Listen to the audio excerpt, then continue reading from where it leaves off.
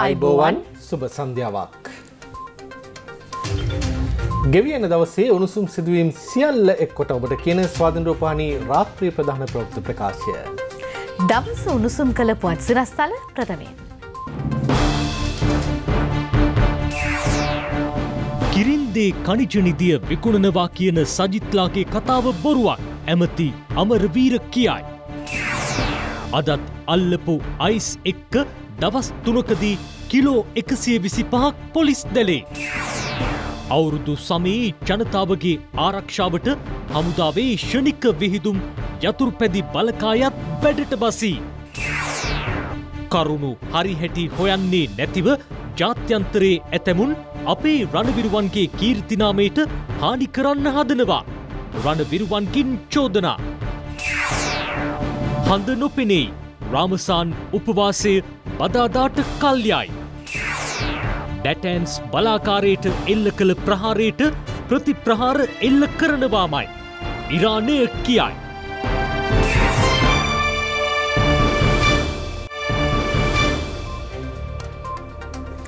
පරණ අවුරුද්ධට සමුදීලා අලුත් අවුරුද්ධ පිළිගන්න රටම බලාගෙන ඉන්නවා. අවුරුද්ධ උදාවෙන්න තව තියෙන්නේ එක දවසක් විතරයි. ඔවරුණ. උදාවෙන අවුරුද්දේ හැම කටයුත්තක්ම ආරම්භ කරන්නේ සුබ නැකැත්වලට මුල් තැන දීලයි.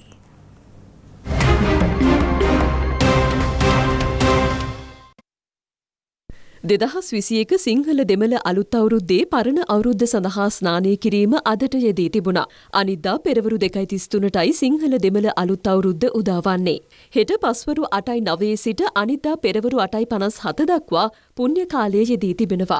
එහින් පස්වරු අටයි නවයට පෙර ආහාරගෙන සියලු වැඩ අතහැර ආගමික වතාවත්වල යෙදීම යහපත් බවයි ජෝතිශ්වය සඳහන් වන්නේ. මෙවර ලිපගිනි මෙලවීමේ සහ ආහාර පිසීමේ නැකත උදාවී ඇත්තේ පෙරවරු හයයි දා හතටයි. ලාකුල පැහැති වස්ත්‍රාභරණයෙන් සැරසී නැගෙනහිර දිශාව බලා ලිබ්බැඳ ගිනිමොලවා එලකිරි මිශ්ව කිරිබතක්ද මුංගෙට කැවිලි වර්ගයක්ද පිළියල කර ගැනීම සුදුසු බව අවුරුදු නැකත් චාරිත්‍රවල සඳහන්. වැඩැල්ලීම ගණුදුනු කිරීම හා ආහාර අනුභවය යෙදී තිබෙන්නේ අනිතා පෙරවරු හතයි හතලිස් එකටයි. ලාකුල පැහැති වස්ත්‍රාභරණයෙන් සැරසී නැගෙනහිර දිශාව බලා සියලු වැඩ අල්ලා ගණුදෙනුකොට ආහාර අනුභවය සුදුසු බව ජෝතිෂයේ සඳහන්. ලබන සිකුරාදා පෙරවරු හයයි හතලිහට නැගෙනහිර දිසාව බලා පැලයක් සිටුවීමේ නැකතක්ද මෙවර සිංහල දෙමළ අලුත් අවුරුද්දට එක්කර තිබෙනවා. මෙවර හිසතෙල් ගෑමේ නැකත යෙදී තිබෙන්නේ ලබනදා හත්වන සෙනසුරාදා පෙරවරු හතයි දහසේටයි. රැකි රක්ෂා සඳහා පිටත්වයාමේ නැකත යෙදී තිබෙන්නේ දහ නවවන සඳුදා පෙරවරු හයයි තිස් නවේටයි. නිශාන්ති සමෘධිලාබීන්ට වගේම අඩුවාදෑම්ලාබීන්ට අලුත් අවුරුද්ධ සමරන්න රජයෙන් ලබා දෙන රුපියල් පන්දහසේ දීමනාව හෙට දවස තුළත් ලබා දෙන්න කටයුතු සම්පාදනය කරලා තියෙනවා. ඔවරුණ. දෙවිනේ හැම ප්‍රාදේශලේකම් කොට්ටාසයක්ම ආවරණය වන විදිහට ක්‍රියාත්මක වන මෙම වැඩ පිළිවෙලට සමෘද්ධය නිලධහරින් වැඩි පිරිසකගේ සහය ලබා දිලා තියෙනවා.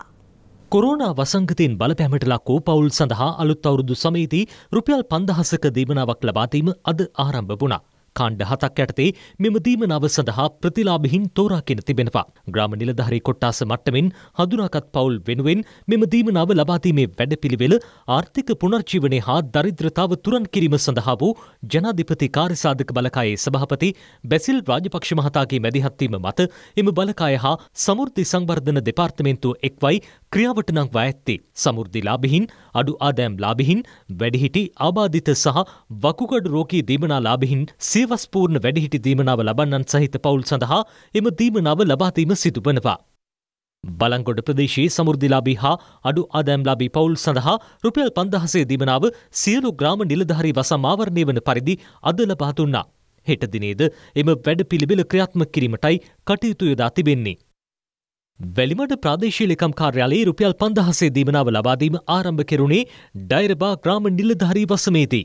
හෙට දිනේ තුළ ගෙවීම අවසන් කිරීමටයි කටයුතු යොදා තිබෙන්නේ. බෙම දුෂ්කර අවධීදී රුපියල් පන්දහසේ දීමනාව තමන්ට ලබාදීම සම්බන්ධයෙන් රජයට ස්තුතිය පල කරන බව ජනතාව ප්‍රකාශ කළා. මේ අවස්ථාවේ පන්දහත් දීම ගැන සියලු දෙනාගේම හදපිරි ස්තුතිය අධිකර ජනාධතුමාටත් අගමැතුමාටත් බෙහෙවිම්න ස්තුතිවන්තයනවා. මේ කාලේ මේක ලැබෙන කම මේ දුප්පත් අපි වගේ අයට ලොකුම උපකාරයක් මේ වගේ උදව්ව කළාට මේ රජයට බොහොම ස්තුතියි. අඩුව දලාමිට මේ රුපියල් 5000 දී ස්තුති ජනාධිපතිතුමාට ගමැතිතුමාටම බොහොම ස්තුතියි. අද දිනය තුළ රුපියල් පන්දහසේ දිමනාව ලබාදීමේ වැඩසටහන්ට සමකාමීව සමෘද්ධි නිලධහරින් බහුතරයකගේ සහය ලැබුණු බව සමස්ත ලංකා සමෘද්ධි හා කෘෂිකර්ම පර්ේෂණ සහකාර නිලධාරින්ගේ සංගමේ ලේකම් පාර්ලිමේන්තු මන්ත්‍රී ජකත් කුමාර මහතා පවසනවා.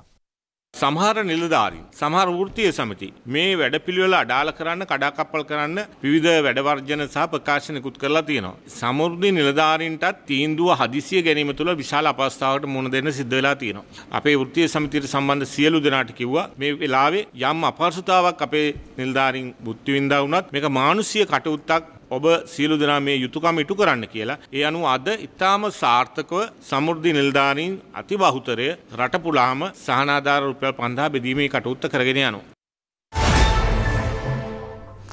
මේ කාර්යබහුල අලුත් අවුරුදු උත්සව සමයේදී ජනතාවගේ ආරක්ෂාවට යුද හමුදාවේ ෂණික විහිදුම් යතුරු ප්‍රතිබලකාය රාජකාරිවලට එක් වෙලා ඉන්නවා.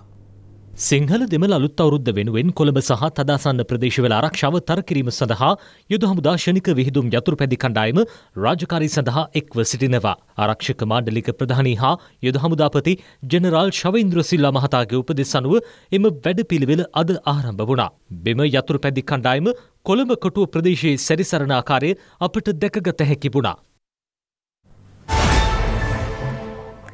රාම්සාන් උපවාස සමය අනිද්දා ආරම්භ කරන්න කොළඹ මහපල්ලිය තීරණය කරලා තියෙනවා. ඉස්ලාමීය බැතිමතුන් මහත් හරසරින් සමරන ඊදුල් ෆීතර් දිනය රාමසන් දිනේ ලෙස හඳුන්වනු ලබනවා. අද දිනේ නවසඳ නොපෙනුනද අනිද්දා සිට රාමසන් උපවාස දිනය සමරන බව කොළඹ මහපල්ලී නිවේදනය කළා. ඉස්ලාමීය චන්ද්‍ර දිනදර්ශනයට අනුව නවසඳ උදාවීමත් සමග ඉස්ලාම් බැතිමතුන් උපවාස කාලේ ආරම්භ කරනවා. සපුගස්කන්ද රග්ගහවත්ත ප්‍රදේශයේදී රුපියල් කෝටි සියයක වටනාකමකින් යුතු අයිස් මද්‍රව තොගයක් අත්තරංගුට ගැනීමට පොලිස් මද්‍ර විනාශක කාර්යංශය අද සමත් වුණා. දින තුනක කාලයක් ඇතුළත එම කාර්යංශය අයිස් මද්‍රව කිලෝග්‍රෑම් එකසිය විසි පහකට ආසන ප්‍රමාණයක් අත්තරංගුටගෙන තිබීම විශේෂත්වයක්. අද දින සවස හතරට පමණ සපුගස්කන්ද පොලිස් වසමේ රග්ගහවත්ත මාබිම ප්‍රදේශයේ කුලියට ගන්නා ලද නිවසක තිබී අයිස් වර්ගයේ මද්‍රව්‍ය අඩංගු පැක් 91ක් සොයාගනු ලැබුවා. කිලෝග්‍රෑම් 110ක් පමණ තිබෙන බවට අනාවරණය වී තිබෙනවා. ඒ අනුව මේ දින තුනක කාලයක් ඇතුළත සිදු කරන ලද මෙහෙයුමේදී අයිස් වර්ගයේ මද්‍රව්‍ය කිලෝග්‍රෑම් එකසිය විසිපහක් පමණ අත්තඩංගොට ගැනීමට මද්‍ර විනාශ කාර්යංශයට හැකියාවක් ලැබී තිබෙනවා. මේ මද්‍රව්‍ය තොගේ සමග සැකකරුවන් පස් දෙනෙක් අත්තඩංගොට ගනු ලැබ. තිස්ස මහාරාම මාගම් කෙරින්ද වෙරලතියරේ පිහිටා ඇති කනිජ නිදි සහිත ප්‍රදේශය නිරීක්ෂණය කිරීමට විපක්ෂනායක සජිත් ප්‍රේමදාස මහතා අද එක් වුණා. මෙම කංජනිදි වැඩිය විදේශයන්ට විකිනීමේ ප්‍රයත්නයක් ඇති බවට වාර්තාවන බවයි විපක්ෂනායකවරයා මෙහිදී කියා සිටියේ. මෙම කනිජනිදී විදේශයකට විකිරීම අපරාධයක් බව පෙන්වා දුන් විපක්ෂනායකවරයා එම සම්පත මුදලින් තක්සේරු කිරීමට නොහැකි බවද කියා සිටියා. මෙන්න මේ වැලිවැටිය තමයි රජය යෝජනා කරලා තිබෙන්නේ ඉන්දියානු සමාගමක් එක්ක එකට එක්කහු වෙලා දැන් මං හිතන්නේ ගවේෂණ කටයුතු කරලත් හමාරයි කැනීම් කටයුතු ක්‍රියාත්මක කරන්නට බලාපොරොත්තු වෙනවා. ඉතින් මම පැහැදිලිව කියන්න කැමති මේ මහා වැලිවැටිය කැනීම් කටයුතු වලට යොදා ගැනීම බරපතල පරිසර හානියක් අපි පැහැදිලිවම මේ වැලිවැටිය විනාශ කර දෙන්නට ඉඩ තබන්නේ නැහැ. කෙසේ වෙතත් කිරින්ද කනිජ නිදිය සම්බන්ධයෙන් එල්ලවන චෝදනා පිළිබඳ පරිසර අමාත්‍ය මහින්ද අමරවීර මහතා මෙලෙස කරුණු පැහැදිලි කළා. ඉල්මනයිට් නිදියක් සම්බන්ධව විපක්ෂනායකවරයා ගිහිල්ලා තාමත් අසත්‍ය ප්‍රකාශයක් කරා. ඒක තමයි විපක්ෂනායකතුමාගේ බංකුලොත් භාවය. ඒ නිසා තමයි හැමදාම හම්බන්තොට දිස්ත්‍රික්කෙවත් අඩු ගානේ තමන්ගේ ආසනයවත් දිනා ගන්න බැරි වෙලා. ඒකට ප්‍රධාන හේතුව තමයි මිනිස්සුන්ට බොරු කීම. අපි කිසිදු ආකාරයක ඉන්දියාවට හෝ චීනයට හෝ කාටවත් දෙන්න කිසිදු තීන්දුවක් අරගෙන නැහැ. ඒක සම්පූර්ණ අසත්‍යයක්. ලංකාවේ කිසිම තැනක කංජ නිදියක් මේ කනින් අපි අවස්ථාව ලබා දෙන්න සූදානමක් නැහැ. කටාන රිෆයිනරීස් පෞද්ගලික සමාගමට අයත් පිළිකාකාරක සහිත පොල්තෙල් අඩංගු මෙට්‍රික් ටොන් එකසිය පහක් සහිත බහලුම් හයක් අද යළි නැව්ගත කෙරුණා. බාබරා නෞකා මගින් ඒවා මෙලේසියාවට ප්‍රති අපනයනය කිරීම සිදුවනවා. මේ අතර රේගුමාද ප්‍රකාශකවරයා කියා සිටින්නේ මීට වඩා වැඩි විෂ සහිත පොල්වල් ප්‍රමාණයක් ප්‍රතිඅපනයනය කිරීමට නියමිත බවයි. අලි බ්‍රදර්ස් එදිරිසිංහ එඩිබල් ඔයිල් හා කටාන රිපයිනරි සමාගම් මෙරටට ආනයනය කරන ලද පොල්තෙල්වල පිළිකාකාරක ඇෆ්ලොටොක්සින් විශ රසායනික ද්‍රව්‍ය අඩංගු බව පසුගේ මාර්තු මස හතරවනදා සෞඛ්‍යමාත්‍යංශයේ ආහාර ආරක්ෂණ ඒකකය ප්‍රමිති ආයතනය ඇතුළු අංශ කීපයක් තවුරු කළා. ඒ අනුවයි එම පොල්තෙල් තොක රැගෙන ආ රටවලටම ප්‍රති අපනයනය කිරීමට රජය තීරණය කළේ. දිවිනු පුරා වෙළඳ මධ්‍යස්ථානවල විශ සහිත පොල්තෙල් ඇදැයි සොයබැලීමේ පරීක්ෂණ කටයුතු පසුගේ දිනවල දිගින් දිගටම සිදු කෙරුණා. ඒ අනුව දංකුට උපදේශයේ සඟවා තිබීදී පිරිපාදු නොකළ පොල්තෙල් ලීටර පනස් පන්දහසක් අටංගු බෞසර දෙකක් අතරංගොට ගැනීමටද හැකි වුණා. කටාන රිෆයිනරිස් පෞද්ගලික සමාගමට ඇත් විශසහිත පොල්තෙල් ප්‍රති අපනයනය කිරීම අද පෙරවරුවී ආරම්භ කිරුණා. බාබරා නම් නෞකා මගින් පිළිකාකාරක පොල්තෙල් මැලේසියාවට රැගෙන යාම සිදු වුණේ අද පසුරුවෙයි. ප්‍රති අපනයන කටයුතු කොළඹ වරාය SGT පරයන්තේදී සිදුවුණු අතර රේගු අධ්‍යක්ෂ ජෙනරාල්වරයා ඇතුළු පිරිසක් එය අධීක්ෂණය කළා. මාධ්‍යට මෙම අවස්ථාව විවෘත කිරීම විශේෂත්වයක්. මේ යන්න එක සමාගම තව සමාගම් දෙක ඉතුරලා තියෙනවා මීට වඩා තියෙනවා ඒ සමාගම් දෙක දැනට ක්‍රියාමාර්ගයක් කරන් තියෙනවා මේ ඇෆ්ලොටොක්සින් බහුලව පවතිනවා කියලා සැක කරන ද්‍රව්‍ය වන පොල්තෙල් සහ වියලි මිරිස්. මේ දෙක අපි දැන් ඔවුන්ගේ ගබඩාවලට නිදහස් කරන්න අපේ ගබඩාවල බොහොම අපහසුකම් මධ්‍යයේ අපි තබාගෙන තියෙනවා. මින් ඉදිරියට අපි ක්‍රමවේදයක් ඉදිරියට සැලසුම් කරලා තියෙනවා. අපේම ස්ථානයක් අපි ගොඩනගා ගන්න හදනවා. විශසහිත පොල්තිල් සම්බන්ධයෙන් තවදුරටත් පරීක්ෂණ ක්‍රියාත්මක බව රාජ්‍යමාත්‍ය ලසන්ත අලකිය වන්න මහතා සඳහන් කළා. වෙළඳපොලේ පවතින අපි නියදී එකසිය විසි පහක් පොල් පර්ේෂණ ආයතනයට පරීක්ෂණ කටයුතු සඳහා අපි ලබාතු. එකසිය නමයක ප්‍රතිඵල අපිට ලැබල තිබේ. ඒ අනුව පොල් සංවර්ධන අධිකාරී විසින් අපට දැනුම් දුන්න මේ නියදි සියල්ලගේම තිබෙන ඇපලටොක්සින් ප්‍රමාණය ශරීරයට අහිත කර නොවන බවයි අපිට වාර්තා කරලා තිබේ. තවදුරටත් පාරිභෝගික අධිකාරී විසින් දිවයින පුරාම ඒ පරීක්ෂණ කටයුතු අපි සිදු කරනවා.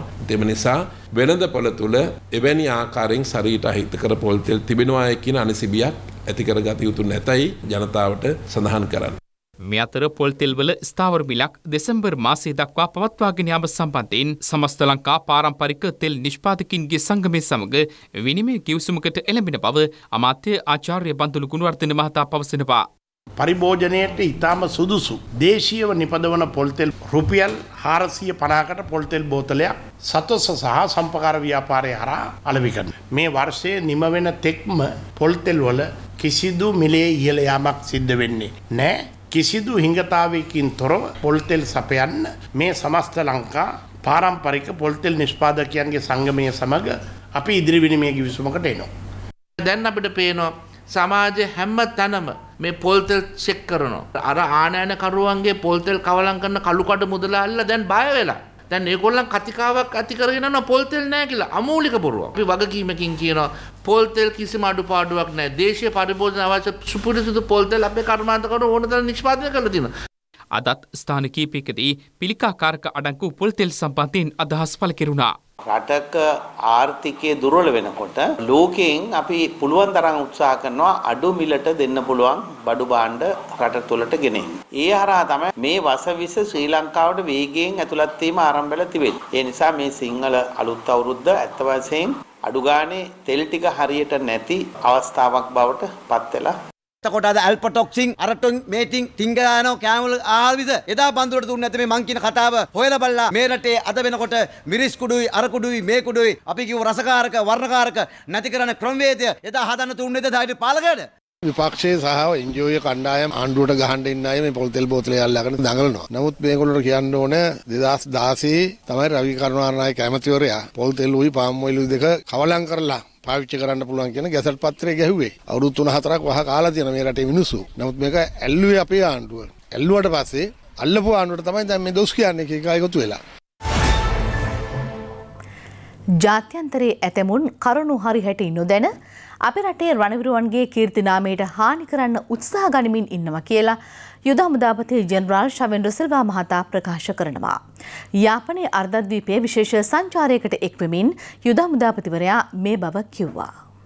යාපනය අර්ධද්වීපයේ ආරක්ෂක තත්ත්වය සොයා බැලීම මෙවන විට එම ප්‍රදේශයේ කොරුණා වෛරස් ව්‍යාප්තිය සම්බන්ධයෙන් කරුණු විමසා බැලීම සහ අලුත් අවුරුදු සමයේ පවා රාජකාරී නිරතව සිටින ත්‍රිවිධ හමුදා රණවිරුවන්ගේ සුවදුක් විමසා බැලීමත් අරමුණු කරගනිමින් යුද හමුදාපතිවරයා මෙම සංචාරය නිරත වුණා. ජනාධිපතිතුමාගේ සහ අග්‍රාමාත්‍යවරයාගේ අවුරුදු සුභාශිංසනද රණවිරුවන් වෙත පිරිනැමීමට යුද හමුදාපති ජනරාල් ශවේන්ද්‍ර සිල්වා මහතා කටයුතු කළා. එමෙන්ම LTT ප්‍රහාරයකින් ගෘහමූලිකයා මිය ගිය පවුලකට ශ්‍රී ලංකා යුද හමුදාවේ ශ්‍රමදායකත්වයෙන් ඉදිකරනු නව නිවසක්ද ඒ මහතාගේ ප්‍රධානත්වයෙන් එම පවුල වෙත තිරණ කෙරුණා. එම නිවසට අවශ්‍ය සියලු උපකරණ සහ මුදල් ආධාරයක්ද ලබා දීමටයි යුද හමුදාව කටයුතු කළේ.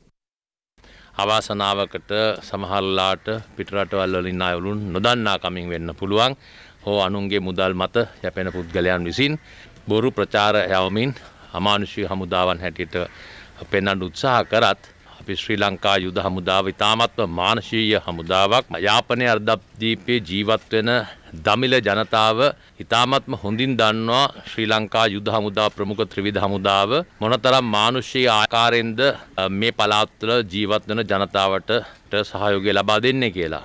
අප මේ වන විටත් නිවාස විශාල සංඛ්‍යාවක් යාපන අර්ධද්වීපයේ මේ ආකාරයෙන් තනලා තිබෙනවා. වැව්වමුණු ගොඩනැගිලි විශාල සංඛ්‍යාවක් හදලා තිබෙනවා. ඉතින් අපි සන්තෝෂ වෙනවා. කොවිඩ් වසංගත තත්ත්වය නිසා මෙවර උත්සව සමයේදී බන්ධනාගාර රැඳවුවන්ට බාහිරින් ආහාර රැගෙනීමට අවස්ථාව නොලැබෙන බව බන්ධනාගාර මාධ්‍ය ප්‍රකාශක චන්දන ඒකනායක මහතා පවසනවා. සිංහල දෙමළ අලුත් අවුරුද්ද වෙනුවෙන් මීට පෙර අවස්ථාවල බන්ධනාගාර සිරකරුවන් වෙනුවෙන් බාහිරින් ගේන ආහාර ලබාදීම මෙතෙක් කල් බන්ධනාගාර තුළ සිදු කරා. මේ වසරේ ආහාර ලබා දීම සිදු වෙන්නේ නැහැ. මක් නිසාද කොවිඩ් තත්ත්වය මත. යනුව සෞඛ්‍යාරක්ෂිතව සකස් කරන ලද ආහාර වේලක් අප ආපන ශාලාවෙන් ලබා දෙන්න අවශ්‍ය කටයුතු කරලා තියෙනවා. රුපියල් 1000ක මුදලක් බන්ධනාගාරවල ආපන ශාලාවට දර කරපුවාම කැවුම් සහ කොකිස් වගේ රස කැවිලිත් මේ සඳහා උන්ට ලබා ගන්න පුළුවන්. ඒ වගේම බත් පාසලෙකුත් උන්ට ලබා ගන්න පුළුවන්. කෙටි ආහාර ලබා ගන්න පුළුවන්. 13 14 දින දෙක තුල පිටතින් පැමිණෙන ඔවුන්ගේ ඥාතීන්ට අමුත්තන් බැලීමේ කාරණය ඒ වගේම සිදු කරනවා. හැබැයි ආහාර ලබා ගැනීම සිදු වෙන්නේ ආපන ශාලාවෙන් පමණයි. මේ සඳහා අපි හොඳ ක්‍රමවේදයක් බන්ධනාගාරවල ඇති කරලා තියෙනවා. බන්ධනාගාර තුල සිංහල අලුත් අවුරුදු උත්සව මෙවර පැවැත්වෙන්නේ නැහැ. මක් නිසාද ඒක රාශි වීම වැඩි නිසා. ඒ නිසා ඔවුන්ට වෙනත් යම් රසාස්වාදන වැඩසටහන් ක්‍රියාත්මක කරන්න කියලා බන්ධනාගාර අධිකාරියන්ට අවසර ලබා දීලා තියෙනවා. කොටි සංවිධානයට අයත් වූ ක්ලේමෝ බෝම්බ හා ගිනියාවී දකුණේ පාතාල සංවිධාන වෙත විකිණීමට කටයුතු කළේ ඇයි සැකපිට අත්තරගොට ගත් ගනේ මුල්ල සංජීවන මෙති පුද්ගලයා ඇතුළු තවත් සැකකරුවන් එකොළොස් දෙනෙකු මුදාහරින ලෙස කොළඹ මහස්ත්‍රාත් අධිකරණය අද නියම කළා.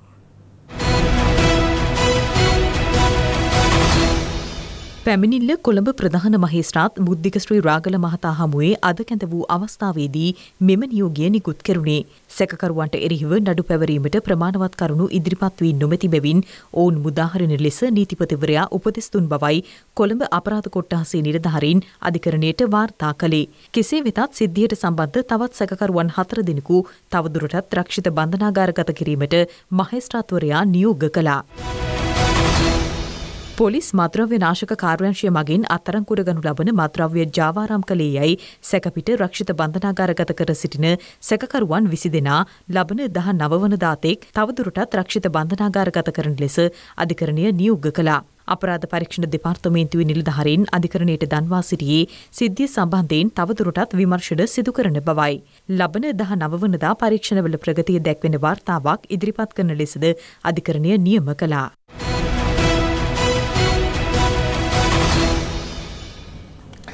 දක්ෂිණ අධිවේගී මාර්ගයේ අනාරක්ෂිත විදියට ධාවනය කරපු රියදුරා රිමාන්ඩ් භාරයට ගෙන තිබෙනවා. පොලිස් අත්අඩංගුවට ගත්ත ඔහු පානදුර අධිකරණයට ඉදිරිපත් කළාට පස්සේ මේ විදියට රිමාන්ඩ් භාරයට පත් කෙරුණේ. කොහොමුණත් අපරීක්ෂාකාරී විදිහට මෝටරාතය පදවලා මාර්ගයේ ගමන් කරපු අනෙක් රියදුරන් අපහසුතාවට පත් කරන්න මේ රියදුර ඇතුළු මෝටරාතේ ගමන් කළ පිරිස කටයුතු කළා කියලයි චෝදනා එල්ල වෙලා තියෙන්නේ. දක්ෂිණ අධිවේගී මාර්ගයේ අපරීක්ෂාකාරී ලෙස සහ අනතුරුදායක ලෙස දහවනය වූ මෝටර් රථයක දර්ශන සමාජ මාධ්‍ය තුළ හුවමාරු වුණා. තරුණින් සිව් දෙනෙකු එම මෝටර් රථයේ පැතිකවුළු මත වාඩි වී විවිධ ඉරියව් නිරූපණය කරමින් ගමන් කරන අයුරුද අදාළ දර්ශනවලට ඇතුළත්. මේ සම්බන්ධයෙන් පරීක්ෂණ ආරම්භ කළ පොලිසිය මෙම වාහනයේ හිමිකරු සහ එය දහවනය කළ රියදුරු පිළිබඳ තොරතුරු හෙළිකර ගත්තා. ඒ අනුව රතේ මුල් හිමිකරු ගැලනිගම අධිවේගී මාර්ග ආරක්ෂණ කොට්ටාසේ වෙත ඉදිරිපත් වුණා. මුල් හිමිකරුගෙන් මෝටර් රථයේ මිලදීගත් අකුරුණ ප්‍රදේශයේ පුද්ගලයා සහ මෝටර් රථයේ පැද වූ රියදුරා මෙන්ම එහි ගමන් කළ තරුණින් සිව් දෙනාට පොලිසිය හමුවේ පෙනී සිටින ලෙසයි පොලිසිය දෙනුම් දී තිබුණේ. ඒ අනුව මුල් හිමිකරු රියදුරු සහ වාහනය දෙවන වරට මිලදීගත් පුද්ගලයාගේ පුත්‍රයා පොලිසිය වෙත ඉදිරිපත් වුණා. සිද්ධිය සම්බන්ධයෙන් සිදු කළ වැඩිදුර විමර්ශනවලදී හෙළිවී ඇත්තේ මෝටර් රථය නිසි පැවරීමකින් තොරව වෙනත් පාර්ශවයකට අලෙවි කිරීමට මුල් හිමිකරු කටයුතු කර ඇති බවයි. කෙසේ වුවද රියදුරා මේ වන විට බන්ධනාගාරගත කර තිබෙනවා. ඒ අත්අඩංගුවට ගත් ඔහු පානදුර මහිස්ත්‍රාත් අධිකරණයට ඉදිරිපත් කිරීමෙන් අනතුරුවයි. හිත හොඳ දොස්තර් කියලා බොහෝ දෙනාගේ ආදරය දිනාගෙන හිටපු මහර්ගම අපේක්ෂාරෝහලේ අධ්‍යක්ෂ අභාව ප්‍රාප්ත විශේෂඥ වෛද්‍ය වසන්ත දිසානායක මහතාගේ දේහය පිළිබඳ අවසන් කටයුතු පන්නිපිටිය පොදු ස්ථාන භූමියේදී අද පස්වරුවේ සිදු කෙරුණා. බහරගම අපේක්ෂාරෝහලේ පරිපාලන කටයුතුවල දීර්ඝ කාලයක් නිරත වෙමින් රෝගීන්ගේ සුබසිත වෙනුවෙන් වෛද්‍ය වසන්ත දිසානායක මහතා කැපවී කටයුතු කළා. ඒ මහතා මේ යන විට පනස් අටවන වීහි පසුපුුණා. වෛද්‍ය වසන්ත දිසානායක මහතා වසර දහත්තුනකට අසන්න කාලයක් අපේක්ෂාරෝහලේ ඩියෝච් අධ්‍යක්ෂ දුරේ හෙබ වූ අතර අධ්‍යක්ෂ දුරයට පත් වූයේ දෙදහස් දහන්නවේ වසරේදී. ඒ මහතා කොළඹ ආනන්ද විද්‍යාලයේ කීර්තිමත් ආදේශිෂයේ දෙදරුපියෙකු වන වෛද්‍ය වසන්ත දිසානායක මහතා රෝගී තත්ත්වයක් හේතුවෙන් සතියක පමණ කාලයක් ශ්‍රී ජයවර්ධනපුර රෝහලේ ප්‍රතිකාර ලබමින් සිටියදී අභහප්‍රාප්ත වුණේ. පිළිකා රෝගීන් කලින් හඳුනා ගැනීම සඳහා පෙට් ස්කෑන් යන්ත්‍රයක් මිලදී ගැනීමට මෙන්ම පිළිකාව වැළඳුණු දරුවන්ගේ සුබසාධනය වෙනුවෙන් වසන්ත දිසානායක මහතා කැපවී කටයුතු කළ වෛද්‍යවරයෙකු වනවා. ජනතාව පිළිකාවෙන් ආරක්ෂා කර ගැනීමට දැනුවත් කිරීමේ වැඩසටහන් රැසක්ද ඒ මහතා සිදු කර තිබුණා. ස්වාධීන රූපානී රාත්‍රී ප්‍රධාන පුවත් විකාශය අවසන්. ඔබට සුභරාත්‍රයක්. අයිබෝවන්